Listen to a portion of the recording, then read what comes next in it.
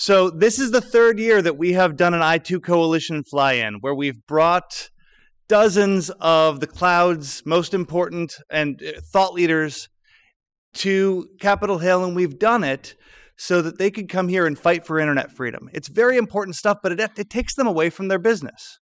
And so we've got these cloud leaders that have come in here uh, to try and help us fight the good fight on issues that are important to the entire industry. And what we've liked to do over the each year is uh, bring in somebody who can help inspire us in our ongoing efforts. So we've had a featured speaker each year in our events. And this year, I got extremely lucky to have had one of my own personal internet heroes say yes to coming and saying a few words to us. Uh, Mitchell Baker, the uh, the CEO of Mozilla. Uh, my background is as uh, I, run, I ran a small internet company wherein we were developing web hosting solutions on open source software. And the things that Mitchell has done uh, as the head of Mozilla for the open source software movement in legitimizing it and bringing it into the public sphere, and the things that she have, has done in order to advance the efforts of privacy and security in that same area have inspired me.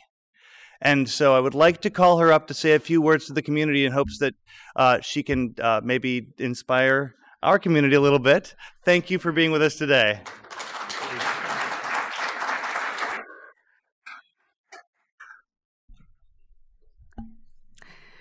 Well, the internet is a remarkable technology. You know, probably the most important collaborative tool and communications tool we'll see in in our lifetimes. And clearly, I love it. I've spent my life building it, trying to build opportunity and openness and innovation on top of the internet platform. It's such a powerful platform that it shapes thinking in ways that are quite surprising. And in particular, it threatens to upset the balance between the citizen and our governments.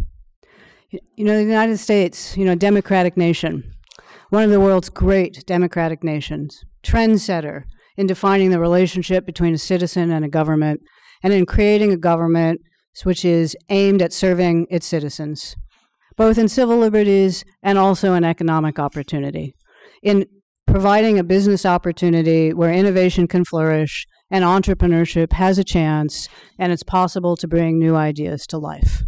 We have our relatively short history, our 200, 300 years of history in balancing individual rights, the rights of the government, privacy, national security.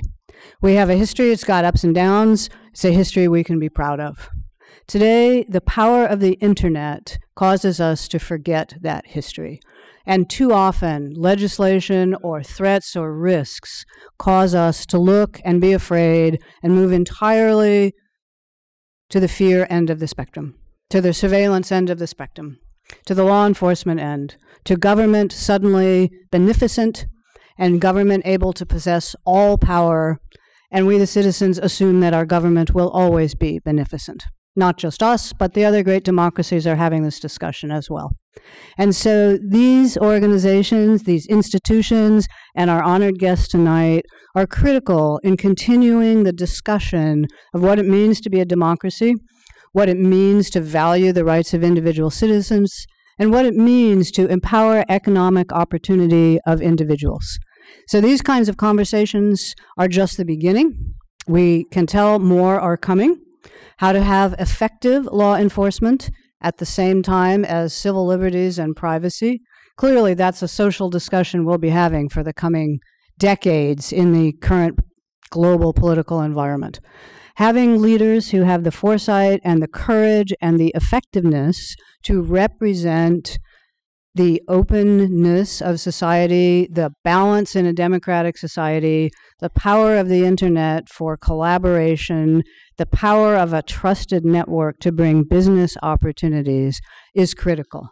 I'm honored to be here with the representatives, uh, but also honored to be here with you, who are the current and future generations, uh, for leading this discussion and for keeping in mind the power of the internet to generate activities, business activities, and to be a trustworthy organization to help us have a relationship with our government that continues to be one where individuals and civil liberties and citizenship have a real meaning.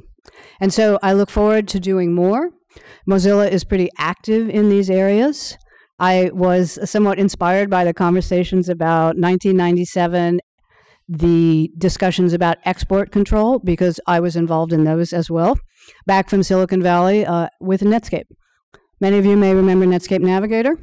When we started, the encryption limits were 56 bit, not enough to make a trustworthy commercial system. And so we had long discussions. Netscape was extremely active, um, probably the most active company in that era in explaining and demonstrating that a trustworthy internet is good for business and that a trustworthy internet required 128 bit encryption, and that if we could provide a trustworthy internet, commerce, economic activity, banking activity, health activity, the range of civil and social and public benefit would grow immensely. And interestingly, in that discussion, there was also a terrorist incident in the middle of that discussion which threatened to derail the change to 128 bit encryption. But at that time as well, we had good leaders, we had the right coalition, and we were successful. And so this discussion will continue.